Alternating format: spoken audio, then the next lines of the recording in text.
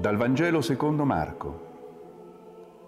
In quel tempo alcuni farisei si avvicinarono e per metterlo alla prova domandavano a Gesù se è lecito a un marito ripudiare la propria moglie. Ma egli rispose loro, che cosa vi ha ordinato Mosè? Dissero, Mosè ha permesso di scrivere un atto di ripudio e di ripudiarla. Gesù disse loro, per la durezza del vostro cuore egli scrisse per voi questa norma. Ma dall'inizio della creazione Dio li fece maschio e femmina. Per questo l'uomo lascerà suo padre e sua madre e si unirà a sua moglie e i due diventeranno una carne sola.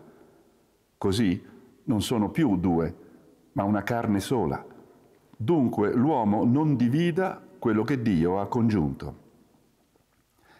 A casa i discepoli lo interrogavano di nuovo su questo argomento e disse loro, chi ripudia la propria moglie e ne sposa un'altra, commette adulterio verso di lei. E se lei, ripudiato il marito, ne sposa un altro, commette adulterio.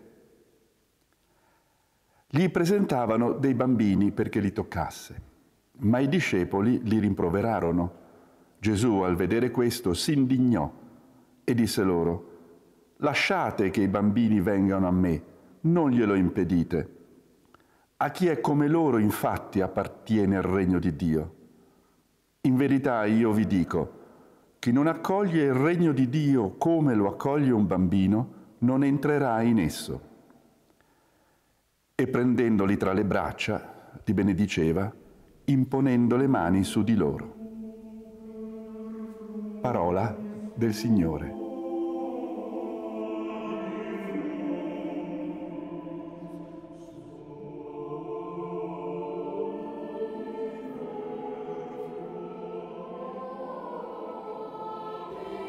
Seguiamo il Vangelo di Marco che è il nostro maestro di quest'anno e eh, in questa pagina viene posta a Gesù una questione che al tempo, allora, ma ancora oggi è una questione molto forte, molto dibattuta, la questione del divorzio. Al tempo di Gesù si poteva divorziare, o meglio, l'uomo poteva ripudiare la moglie, non viceversa, perché era una società ipermaschilistica. E, e quindi c'erano tante eh, idee diverse fra i maestri, fra i rabbini, circa i motivi per i quali un marito poteva mandare via la moglie. Quando lo vanno a chiedere a Gesù, Gesù che cosa fa? Come sempre si eleva dal singolo caso, dalla singola diatriba di scuola, ma si alza e ritorna al disegno di Dio iniziale, al sogno di Dio sulla sua creazione. Ecco perché cita il libro della Genesi. L'uomo lascerà suo padre e sua madre e i due diventeranno una carne sola. Però a questa citazione del libro della Genesi Gesù aggiunge il suo commento l'uomo non divida quello che Dio ha congiunto. Questo lo dice solo Gesù, non lo dice il libro della Genesi. E così anche dopo eh, ai suoi discepoli che probabilmente stupiti lo interrogano, Gesù ribadisce che è adulterio, cioè è rottura del disegno di Dio. Sappiamo oggi quanto è difficile per le coppie restare unite, restare insieme Sappiamo quante sono le famiglie separate.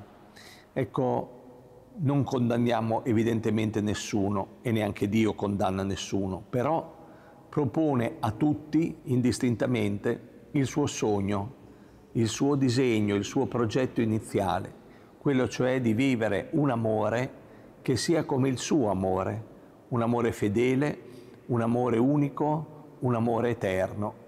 Ecco, Naturalmente come tutte le proposte del Vangelo sono, sono dei cammini, non sono delle mete che o le raggiungi o non le raggiungi, sono delle strade e su queste strade dobbiamo camminare. Le coppie devono prendersi cura della loro relazione, nessuna relazione è scontata, nessuna relazione è automatica, né prima né dopo il matrimonio. Ecco, la cosa fondamentale è non perdere d'occhio questa relazione, la relazione della coppia, la relazione con l'altro, che prima di essere babbo e mamma, la coppia è marito e moglie, e la relazione con Dio, la relazione con il Signore, che è la fonte dell'amore. Questa relazione è chiamata, l'ultima parte del Vangelo, anche ad aprirsi, non solo alla vita, per cui c'è un bambino, accogliere i bambini, ma aprirsi alla vita di tutti. Ogni coppia è chiamata a far fiorire la vita, non solo dei suoi figli, evidentemente, ma a far fiorire la vita delle persone che sono legate, sono collegate, sono entrate nella vita di questa coppia. Ecco, far fiorire la vita è la vocazione di tutti i cristiani, ma in particolare della famiglia, la famiglia secondo il sogno di Dio. E questo sogno noi ci auguriamo che in ogni famiglia, anche in quelle ferite, possa sempre di nuovo rinascere.